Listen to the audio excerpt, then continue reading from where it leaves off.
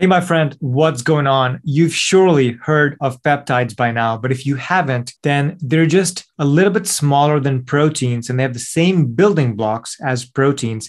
And as you know, proteins do basically all the job in your body of maintaining your life and maintaining normal function day to day. And so peptides have been found to have various anti aging and healing benefits in your body. Today, we're going to do another session with a peptide expert and we talk about bioregulator peptides. These are even smaller. These are very, very small peptides, anywhere from two to four amino acids.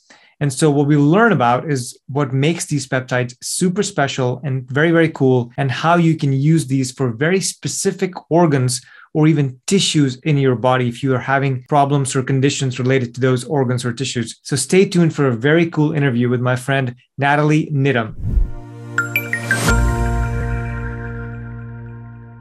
If you're enjoying the information on this channel, then please make sure to hit the subscribe button down below so you can get notified when we release new videos. Our goal on this channel is to help you look and feel younger so you can live your most confident and adventurous life. Also, if you're interested in getting thicker, fuller, stronger, and longer hair, then make sure to check out fullyvital.com. We're creating some really cool products and a natural hair growth system that you can use in tandem to really get the hair that you deserve. So if you're interested in that, please make sure to check out fullyvital.com. I'll make sure to put a link down below. With that said, let's dive right into the interview. Hey, everybody, welcome back to the Anti Aging Hacks podcast. Today, I'm excited to have my friend Nathalie Niddam on the show, and we're going to talk about things that are near and dear to my heart and certainly to hers. These are peptides, which she's been become quite the expert in. In terms of an intro, Nathalie is a holistic nutritionist and she's a human potential and an epigenetics coach. She has a Facebook group uh, of thousands of people where they talk,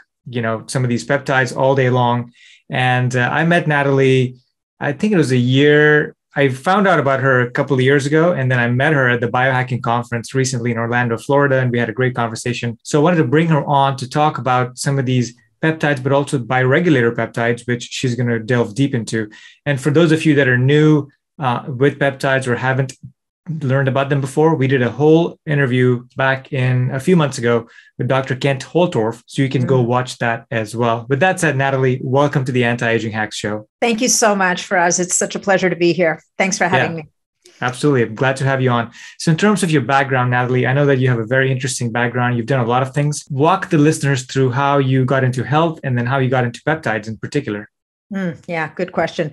Um, I guess, well, I got into health. I've always been interested in health. I studied physiology when I was in, I guess you would call it in the States, college. Here we call it university.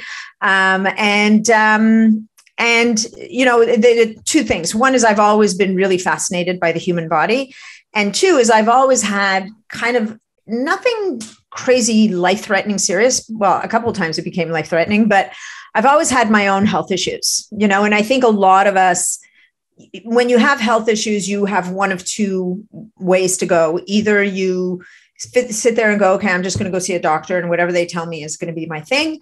Or I might go see a doctor. I might not like what they tell me, and I think there's something more to this, right? And I've always really inherently believed that the human body is really, it's such a powerful creation that has the possibility of healing itself in ways that we don't even understand right?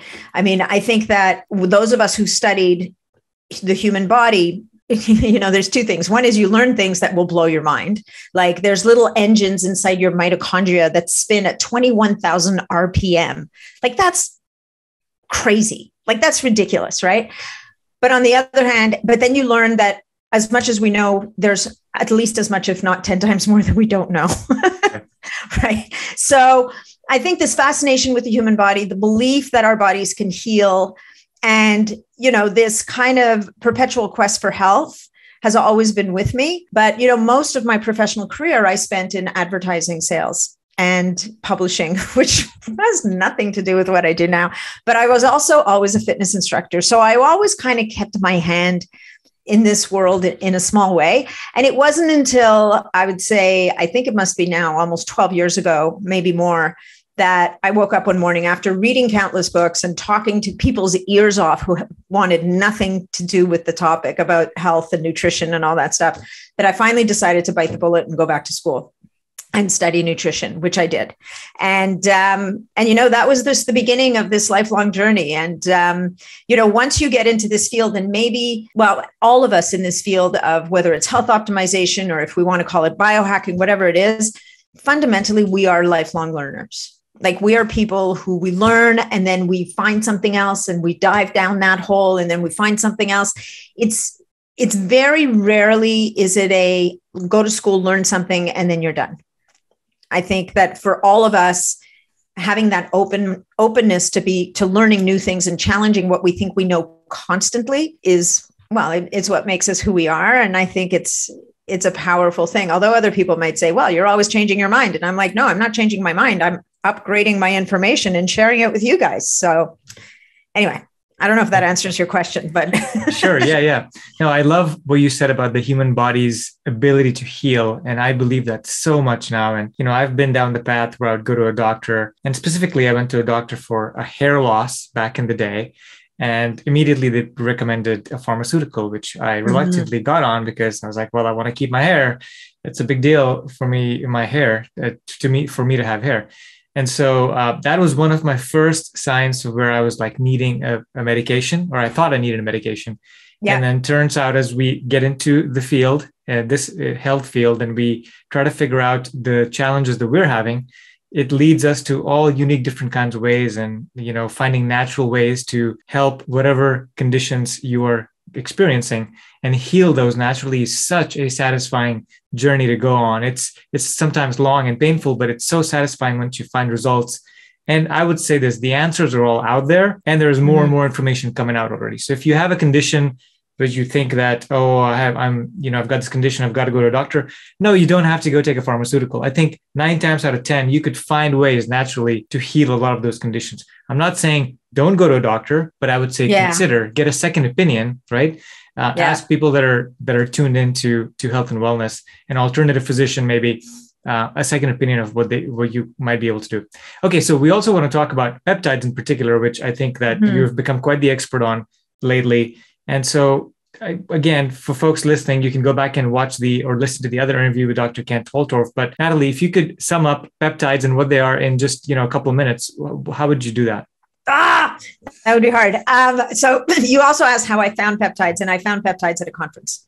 That's mm-hmm. that's how we find a lot of things, right? Mm-hmm. Um, but essentially, what are peptides? And it depends on which peptides we're talking about. So we're going to talk briefly about really two different categories of peptides today. We're going to talk about the peptides that are becoming much better known right now. So the BPC 157, the thymosin alpha 1, the thymosin beta 4s. And then we're also going to talk, touch on another category of peptides that are called bioregulator peptides.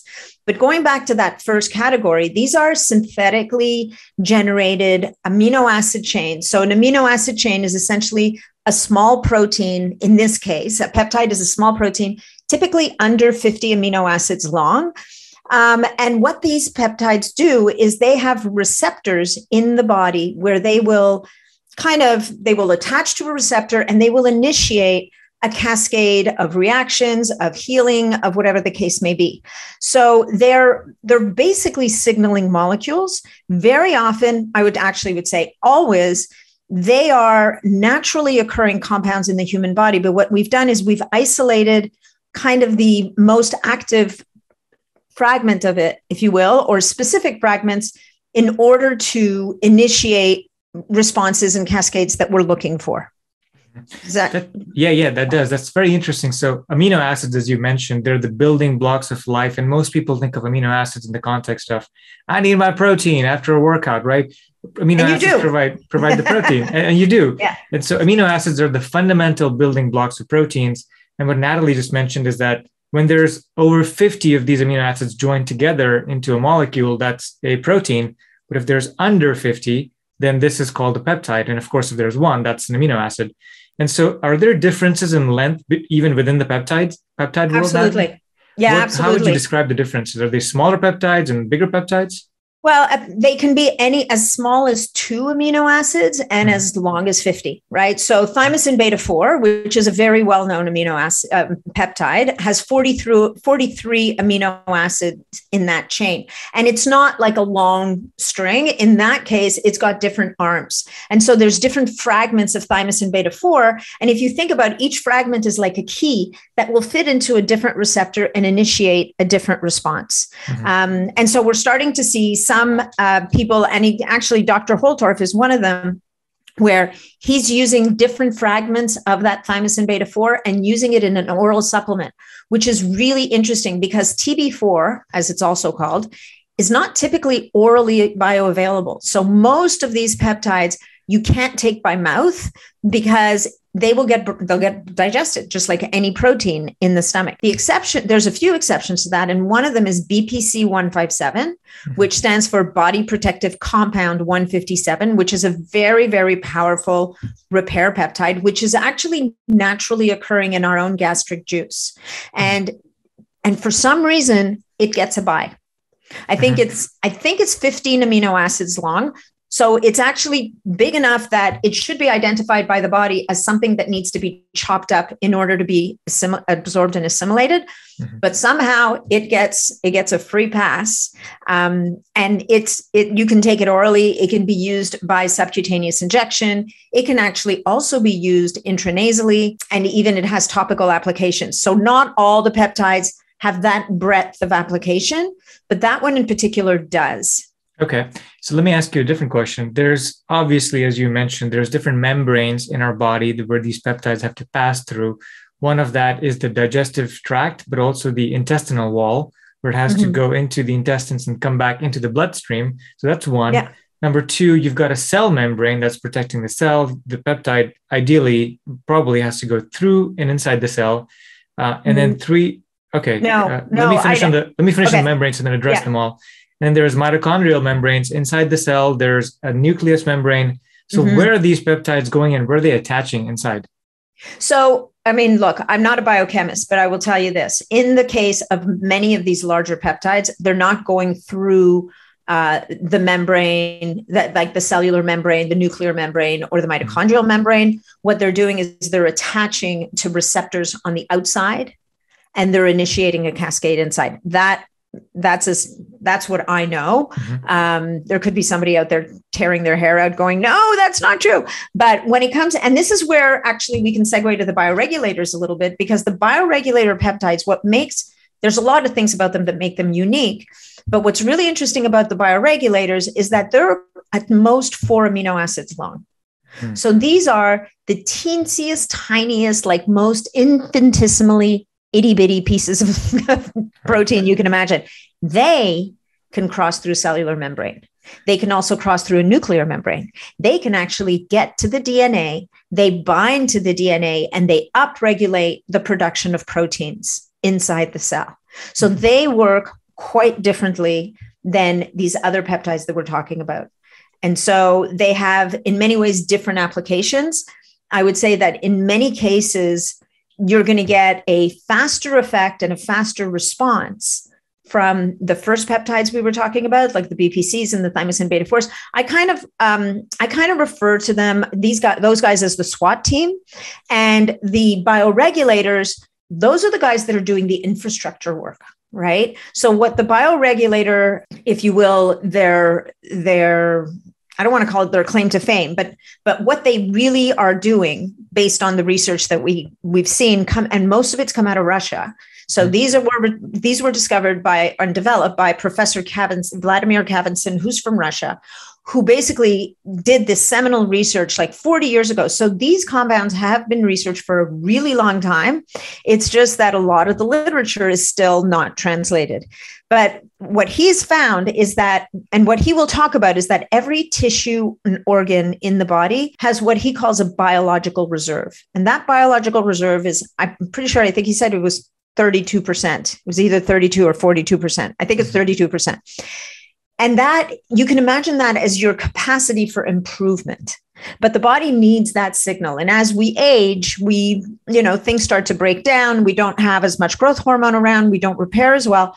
What the bioregulator peptides seem to do is they seem to have the ability to get into whether it's heart tissue or the pineal gland or the thyroid or the liver or the pancreas and initiate, upregulate production of those proteins that we need to rejuvenate the function of that gland or tissue or organ. Okay, fantastic. I want to ask you a couple more questions on the big SWAT team on the SWAT team peptides.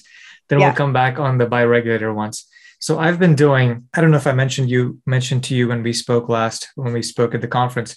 I've been doing a few of these SWAT team peptides I've been doing Epitalon, which is associated or helps with longevity or anti-aging uh, by function of increasing your telomerase uh, activation and uh, telomere length.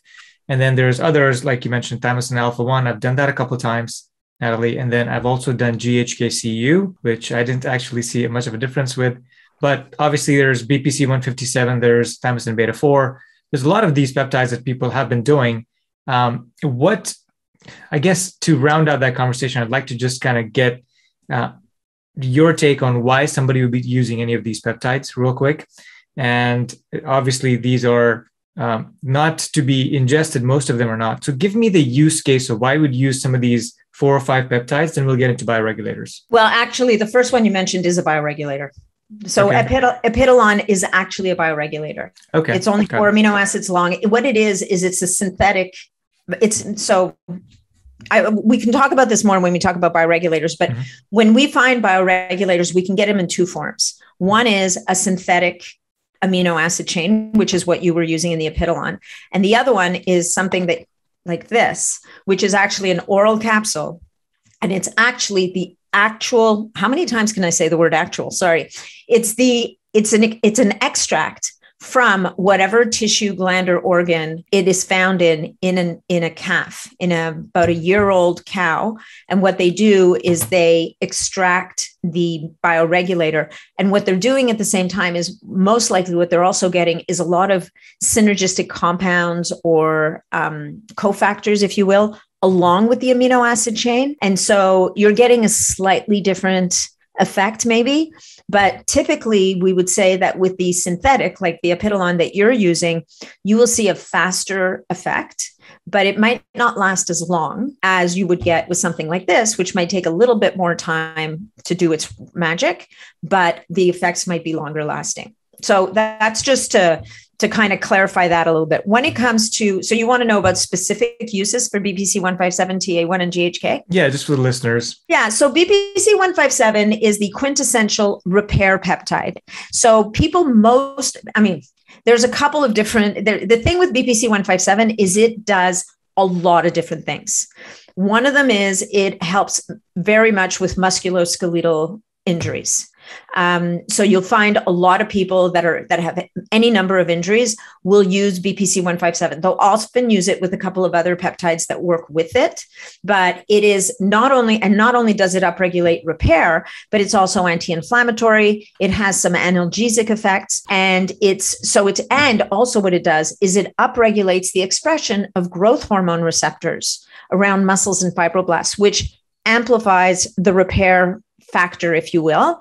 Because if at the same, well, first of all, if you're making a reasonable amount of growth hormone at night, it just means that growth hormone is going to have more places to kind of do its work because we need mm-hmm. growth hormone for repair, as we know. The other aspect of BPC 157 that people talk about a lot, it is magic for any healing anything in the GI tract. So it's amazing for healing a leaky gut. It can be used for lower GI issues like IBS, IBD, colitis, Crohn's. Um, I mean, in you know, in it, it's not like you're going to take your BPC 157 and your Crohn's is going to disappear, but as part of a plan, a well thought out plan, it can really kind of speed up the healing and turn it on, if you will. It's great for any, like anywhere in the GI tract. So gums, um, if people have GERD, it can help to protect from ulcers. Like it's, you know, just almost anything you can think of in the GI tract that goes wrong, it can be helpful. It's also good for the brain. It can be helpful for TBIs. It can be helpful for a lot of, it, you know, one of the things that BPC 157 does is it balances the serotonergic, dopaminergic, and GABAergic centers in the brain. So that can be really helpful in terms of mood balancing Having said that, there's a small percentage of people that that backfires on. So when people are using BPC 157, I'm really careful to, you know, when anybody's using any peptide, I think it's really important to keep a diary and track how you're feeling and how your body's responding. Because in that small percentage of people, if they don't notice that they're having a negative um, kind of cognitive effect from the BPC 157, they could be kind of building up. You know, it, it might just, if they use it for too long, it might take them longer to kind of get rid of the, the negative effects. Um, and then the other thing the BPC 157 is good for is it seems to be able to normalize blood pressure in some cases. It's really good for kidneys, it's good for the heart. So it's kind of like this you know, full body peptide that seems to have a lot of benefits in many ways because it has receptors in so many different places. So, the one thing that I think is important to mention here is there's not years and years and years of double blind clinical trials on this stuff in use with humans. I would say BPC 157 has a fair amount of research behind it. Some of it is not published because, again, it's coming out of the Ukraine or you know, or Croatia. I think there were a couple of researchers in Croatia that did a bunch of human experiments, only they couldn't publish it because they hadn't done the animal experiments first. so, mm, interesting. Um, so there's a lot of information out there about this, but I think you're, you know, so I think that as much as we say, oh, yeah, they're super safe, we we don't fully know you know mm-hmm. they they sure seem to be. And because they're endemic to the body we believe that they are. And most of what we've seen is that they're quite good. But i think that people need to understand that you're now you're stepping into the realm of biohacking. You're stepping into the realm of rolling the dice. You're making calculated risks um, there's lots of doctors using this stuff right now. So again, that should bring us a lot of comfort as well. Not that doctors are always right, but you know, these are smart people who've studied the human body extensively. They've observed, they've been running their own, you know, almost clinical tests in their own practices. Um, so anyway, not to get sidetracked. For thymosin alpha 1, that's another one you asked about. That's a peptide people will use for mostly for immune and inflammation. So it's naturally anti-inflammatory, and TA1, as it's often called, will what it will do is we have two arms to the immune system: the you know the the innate and the extrinsic kind of thing. A lot of people are overactive in the TH2 and underactive on TH1 side. And so, for that reason, TA1 will help to rebalance that. So it can be really useful for auto people with autoimmune conditions. But if you've got like severe autoimmune issues, this is one where you don't want to go in too hard too fast because what can happen is your teeter totter can do one of these and you might just end up feeling really crappy just in a different way than you were feeling before. Yeah. Um, and um, it also, I mean, it's definitely been there's actually some trials that have been done over the last couple of years with a certain virus that's you know wreaking havoc with our world um, where in hospitals in china they used high dose thymosin alpha 1 on people who were severely ill with covid and found that they had better outcomes than people who didn't get the thymosin alpha 1 so, not telling you that that's what you should do, but I'm telling you that, you know, there's definitely some evidence out there that this stuff is really powerful. And as a matter of fact, it is a drug. It's called Zadaxin. It's, I think it's legal in like 40 countries in the, in, in the world. Mm-hmm. I think most particularly in Europe. And here, or in the States, I think it has orphan drug status. So it's kind of like on the line. And to that end, the FDA has now designated that compounding pharmacies can no longer manufacture it. So it's gotten a lot of people pretty upset because it's becoming harder to find and more expensive when you can find it. So hmm. that's TA1. GHKCU is really interesting because it's only three amino acids long it almost could be a bioregulator, although it wasn't discovered by Professor Khavinson. So I don't know if that's why it's not a bioregulator. Mm. But you know, what's interesting about GHKCU is that most people know it as something that would you would use for skin, something that would use for hair, um, but it has a lot of other properties. It's a very interesting, very tiny um, molecule that, and it seems that the tinier ones they can get places right? So mm-hmm. it helps with wound healing, it helps with scarring, it helps with it actually act, acts on over a thousand genes. It may actually be up to 4,000 genes. There's a university in the States, I think it was Stanford, did a study on GHKCU and we're like, this thing's just like flipping flipping switches all over the place, up or down. Um, and from what they published, they said, you know, that it was all beneficial. I don't know that we know that for sure. But what's interesting about GHKCU, I think, is that if you look at the literature, when they got the best results with their little mice, they were infusing GHKCU almost continuously through the day. Mm. And so what we do is we tend to use it, you know, like, you know, once or twice a day, maybe twice a day. Um, and it would appear that maybe to get the real results, you almost need to do this thing. I actually, in my podcast, I interviewed um, a peptide expert by the name of Jean Francois Tremblay, who owns a research lab in Montreal.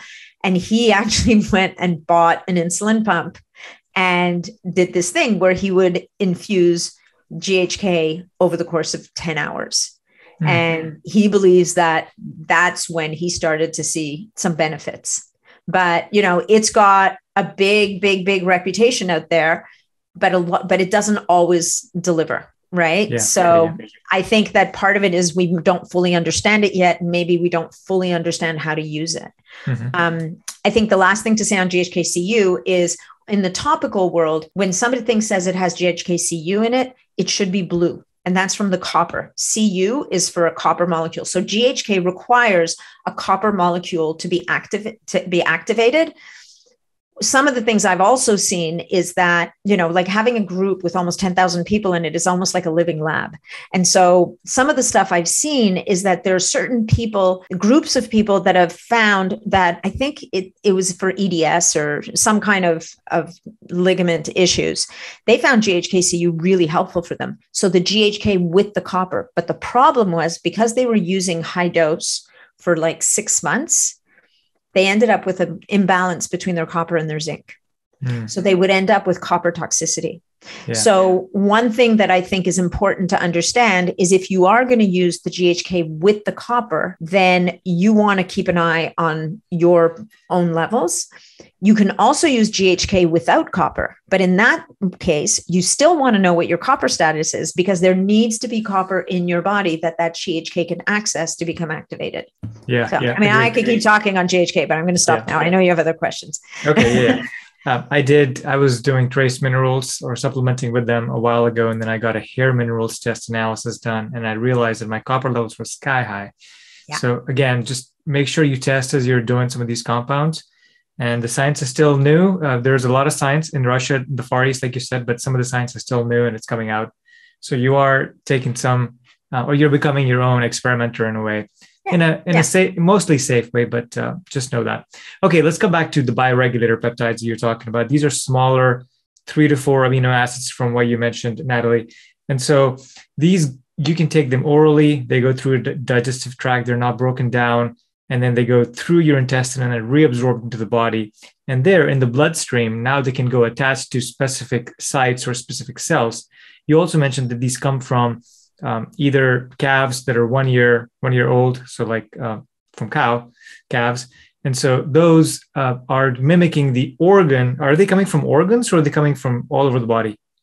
Well, they're coming, and you know, for if you're using the pineal peptide, which is an, an epithalamin or mm-hmm. endoluten, like, and so here's the here's the other funny thing about bioregulators: the nomenclature around bioregulators is crazy, right? So, epitalon is the synthetic, epithalamin is the biologic, endoluten is the um, it's like the trade name, and so you get all these crazy. It's somebody once said to me, "Oh yeah, bioregulator nomenclature. It's like the IKEA of the peptide world." nothing none of the names actually mean anything to us but and so it's super confusing because you know you've got Vesigen and Vladonix and like all these crazy names that mean different things. But just one other thing like there are some that are as small as two amino acids. Like i think Vilon is one of them that's only two amino acids long. I could be wrong about that but okay so they're mainly organ specific or not? organ tissue um, so, for example, just to give you an idea, so there, I believe right now there are 21 and I don't know that I could rattle them all off, but just to give you an idea, there's one for the pineal. So there's a pineal gland bioregulator, which would be extracted from the pineal gland. There's a blood vessel bioregulator, which would be extracted from the blood vessels, like the lining of the blood vessels of the animals. Mm-hmm. There's a heart bioregulator, which would be extracted from the heart. There's liver, there's pancreas, there's spleen, there's bone marrow, there's muscle, there's thyroid, there's adrenal, there's central nervous system like the brain, there's what am I forgetting? Eyes. Um, there's I'm forgetting so many of them, but anyway, okay. you get the you get the idea. Yeah, I mean, like so they're specific. But one thing I will say is they don't like one thing that I've learned recent more recently is that even though epitalon is very specific to the pineal gland, it act oh and the thymus gland thymus is huge.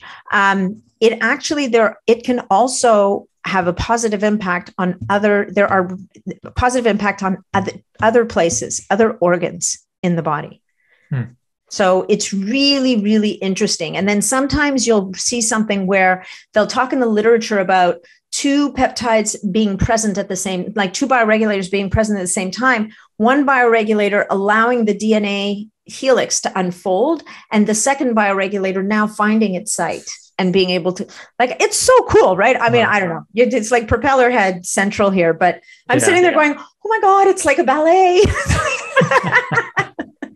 It's fantastic. So the, sorry guys. No, no I, i'm excited about this too. So for people listening Nathalie the they could if they have a specific condition with their heart or they have endothelial dysfunction with their blood vessels or their eyes are not as good as they used to be they could you're saying they could take specific oral bioregulator bioregulator peptides and that will over time heal and bring their eyes or whatever potentially you know, i mean it depends on yeah it depends on the issue right? And the other thing i should say about the bioregulators is they are almost never used alone. They're almost always used in stacks so let's say for example i have someone who um, you know and i don't and i don't work with people that are very ill. If somebody's very ill and has a serious medical condition i'm going to find them a functional medicine practitioner.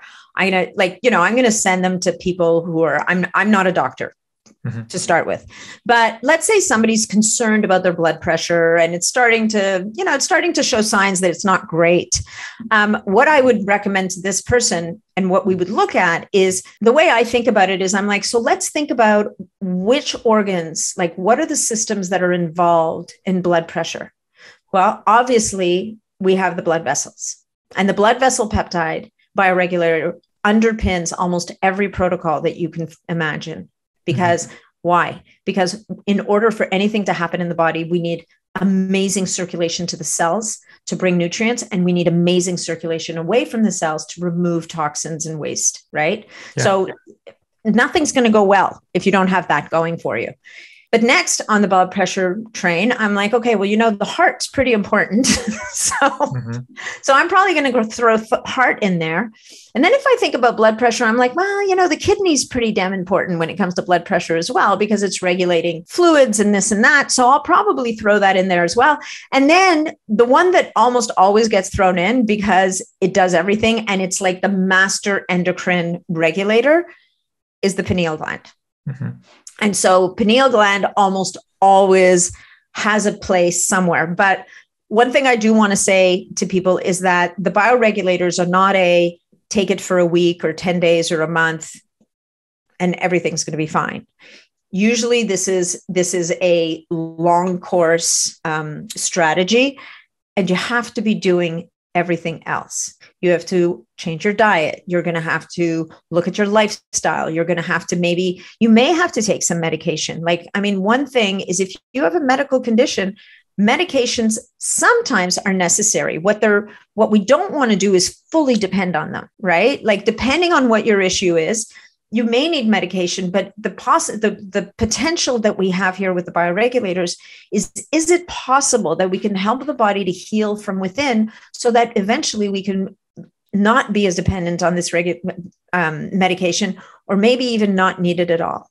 Mm-hmm. And I know doctors who've seen this happen, but if you're on medication and you're hoping to get off of them, this is where you really want to be working with someone to kind of help you to understand what's going on and to titrate it so that it's safe. Yeah. I wonder, I'd love to see some data on this, right? To say, okay, you're on a cholesterol med or you're on, you know, blood pressure medication. And if you start taking these compounds over a period of three to six months, you can start to titrate down your medication and keep monitoring your results. Make sure you're still mm-hmm. doing good. And at some point, you can get to where at a point where you don't need the medication anymore. But then that'll beg the question: Then are you, you know, exchanging one dependency for a different one? Meaning, do you yeah. have to be on these peptides for the rest of your life? What do they cost per month? Because the drugs aren't that expensive, right? So, how would you address costs of these peptides? Well, look, first of all, you don't have to be on them in depth for the rest of your life all the time, right? Mm-hmm. But think about this as we age, we don't repair as well. So, you may have to do cycles of them as you age to keep, you know, think of it as, um, I don't know, think of it as painting your house, right? Or doing maintenance on your car. You can't just do an oil change on your car and think you're done. Mm-hmm. It's going to wear and tear. Things are going to, and if your car's not repairing itself, which your car never does. But if let's say as we age, we don't make as much growth hormone, we, you know, our systems or our mitochondria might be slowing down, whatever the case may be, we don't repair ourselves the way that we did when we were in our 20s, then we're going to have to kind of keep this up in some way down the road. Right. Yeah. Um, and so, and it does it cost more than medication? Hell yeah. But is it an investment in your in your health? The challenge with a lot of medication, and you know what, for us, I wouldn't be here today if it wasn't for allopathic medicine. So I have a lot of respect for for conventional medicine, as it were. What I think is that there we just have we are ha- having an increasing number of tools at our disposal to hopefully avoid needing that conventional medicine as much or need it less.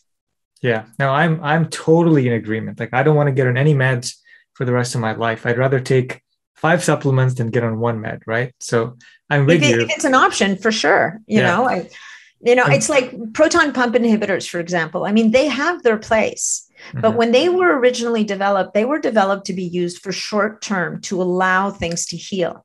What we have instead is people who are on PPIs for years, like forever. Mm-hmm. And what and what we now know is that sets you up for massive problems down the road. Right. Okay, let's talk about this. Let's what is a let's say if you're considering the entirety of peptides, bioregulators and you know the big guns, or the big ones. Or the other ones. Or the other ones. The others. Not the not so cool ones.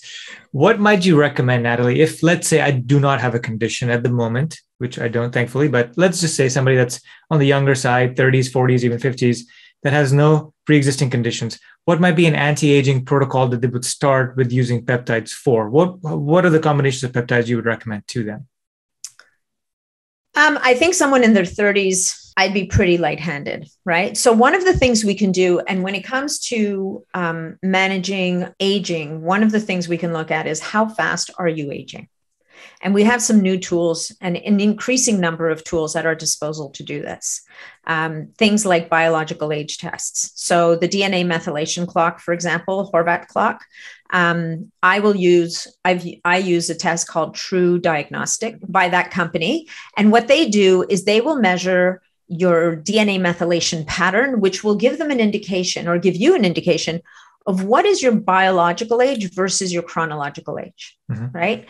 Um, the other way, the other thing to look at is your telomere length. Now, telomeres, you know, it's funny. The person who discovered telomeres won a Nobel Prize for it.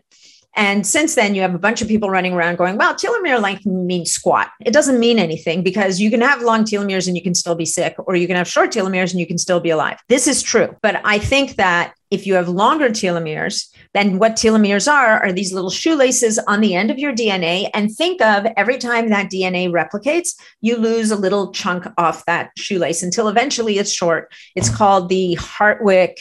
I think there's a the Hartwick Hayflick. Hayflick. That's it.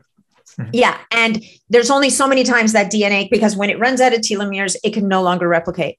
Well, you know, it, I think that if you can help your, telom- your those telomeres to stay longer, you have more opportunity, right? But what you don't want to do is keep those telomeres long and live a crappy life and allow for more damage to the DNA so that maybe you get DNA that's damaged that starts to replicate, like whatever the case may be, right? So, so for me, whether you're in your 30s, your 40s, or your 50s, before you start playing around with this stuff, I think it's a great idea to start by understanding what is my biological age? What is my rate of aging? Am I aging faster or slower than I don't know how many times I've been around the sun, whatever the case may be. Mm-hmm. Once you get that baseline, because you can find 30 year olds who on the inside are kind of like 40 year olds or a 30 year old who's like a 20 year old which you know they're they're in pretty good shape i might tell that person keep living ma- an amazing life and save your money save it for when you're going to need it to the 30 year old who's more like a 40 year old or the 40 year old who's like a 50 year old or whatever the case may be we know that at seven years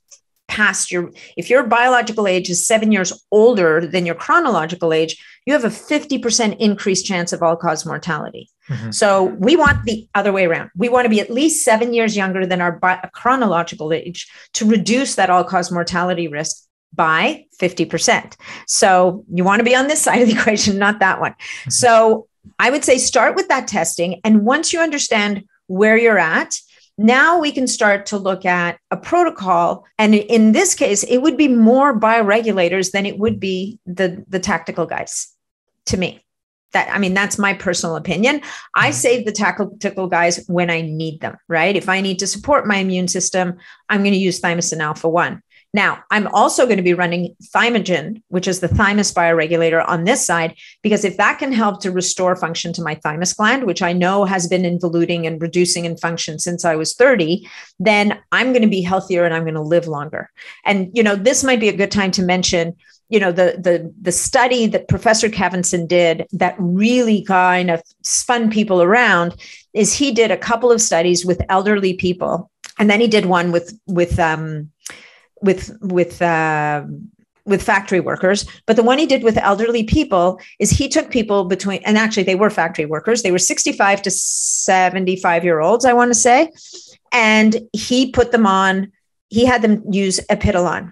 And then in another one he had them use epitalon and the thymus bioregulator and in both cases, the one was a 12 year study and the other was a well, 12 year study. He showed that the all cause mortality rate in the people who got the bioregulators was, I, I think it was more than half less mm. than the people who got just vitamins, right? So it was a double blind study. Everybody got vitamins. They just didn't know which vitamins they were getting. Then he turned around and he took the 75 to 85 year olds and he gave them epitalon and the thymus. In this case, he was using epithalamin. So he's using the biologics, epithalamin and the thymus bioregulator. And in those people, the people who didn't get the bioregulators, like I think it was 80% of them were dead after six years. And in the other group of people, it was down to 40%. So it was dramatic. And what are we doing here? If you look at what the epitalon does, is it restores your ability to produce melatonin. It resets your circadian rhythm. So what you have to think about is what are all the downstream effects that are coming from doing that kind of thing? For the thyme and, and, what do old people like elderly people die of? Very often they're dying from infection because their immune system starts to wane. We're seeing this in spades right now. Well if we can help their immune system to be stronger i mean frankly even if you believe in vaccines you're going to mount a better response to a vaccine if you have a stronger immune system than if your immune system is kind of you know dragging itself around kind of mm-hmm. thing. So so based on that biological age result that you get back you would then decide how aggressive do I want to be. Also, if you know that you have stomach issues, oh, there's a stomach bioregulator too. Also, ovaries and testes and prostate. I, I will get them all out by the end of the podcast. if you keep me keep me here long enough. Um, so I would look at what are the systems that I want to support as I'm getting older. And we would then cycle through the different bioregulators. One thing to mention is in those studies that Professor Khavinson did, the people were given the bioregulators for only two to three years. They didn't take them for 12 years. So it's important to understand like, if you really think about what's happening here, if we're helping to rebuild an organ or function of an organ or a tissue or a gland, it's going to take time. But once you've done that rebuild, you've got some runway before you might want to repeat it again. Right. Like back to your analogy of fixing your car or servicing it every few months or every few years, right? You get, yeah. once you have a new transmission in, then you've got a little bit of time before you need a second transmission. Yeah. Okay. That all makes sense. And luckily, I've been on Epitalon, Epitalon and, uh, and Thymosin Alpha 1. I've done, you know, I've been doing that for, for like a year now. Yeah. So uh, I'm uh, hoping to finish this cycle and then uh, look at some other ones. So I'm excited. Yeah, I'd look at the thymus bioregulator, right? Okay. Because the yeah. thymus, it's yeah. Because yeah, thymosin alpha one, yeah, thymosin alpha one is a peptide that your thymus would produce. Right. So. Mm-hmm. Okay, fantastic. Uh, you have a offering where you help women, I think, with health and figuring out you know their conditions and then helping them one-on-one how would you how could you describe that to the audience so i actually don't only work with women i work with men and women and i work with people mostly you know who are looking to optimize their health and build longevity mm-hmm. programs mm-hmm. for them okay. um, i don't you know these days i don't take a ton of clients because i have the podcast and i've got the group and i've got all these different things going on but i do work with people one-on-one um, for in that capacity. What I'm doing for women um, that you're maybe alluding to is that I'm going to be hosting a retreat or co-hosting a retreat in the Dominican Republic sometime this spring. We're actually the only thing holding us up right now is finding a place to host it in high season in the Dominican, which is not easy because mm-hmm. everybody's heading for the beach these days um, for good reason. Um, so we're I'm just literally in you know it's now no mid November, so I'm hoping in the next week or so we'll be announcing the retreat in the you know for women. And it's a longevity retreat. So we're what we're hoping to do is get people to test their biological age before they come down do some genetic testing. Um, we'll be doing live blood cell analysis. And, you know, this will be one of those retreats where you're going to be busy because you're going to be learning, you're going to be doing, you're going to be, you know, it's kind of a bit of an overhaul, but um, I think it's going to be a lot of fun for people who are interested in this stuff. Fantastic. So, longevity retreat, you got a podcast, you're helping people with individual with their health conditions and goals, I would say. And then what's the Facebook group called? The Facebook group is called. So I tried to change the name of my Facebook group, but I don't think the URL ever changed. So I believe that if you look for biohacking superhuman performance, um, that's what it's. I think that's the URL for it. It's the facebook.com forward slash groups forward slash, or it's optimizing superhuman performance. And Biohacking Superhuman Performance is also the name of the podcast where I'm looking forward to hosting you for us very soon. I'm looking forward to coming on. Thank you for that. Um, awesome, Nathalie. This has been great. I am. I've learned a ton more about bioreg, bioregulator peptides, which I didn't know about. I was just doing them the old school way, the injections, just uh, every couple of days. But yeah. now maybe there's a more refined approach where I could do this. Where would people even find some of these obviously they, they, should come to you and have a consultation and figure out what they need but are these available in the united states to buy so i where i so where i get I, I have two sources, right? If I'm looking at the synthetics like you're using, and um, which are the ones that are applied by subcutaneous injection, um, those I get from a place called canlabsciences.com. They're in Canada, but they actually ship to the States in like two or three days. And if people wanted, you know, if people have enough information and they think they want to order some, they could use uh, there's a discount code for my group, which I can share here, which is OS as in Sam, P as in Peter, OSP15, and that'll get you 15% off. And then for the bioregulators, I like to get them from a place called, uh, it's the, the website is profound-health.com and that what they've done is this is a UK company and the owner has a very good relationship with Professor Khavinson. And what they've done is they've taken the oral bioregulators and they've taken that whole name game out of play.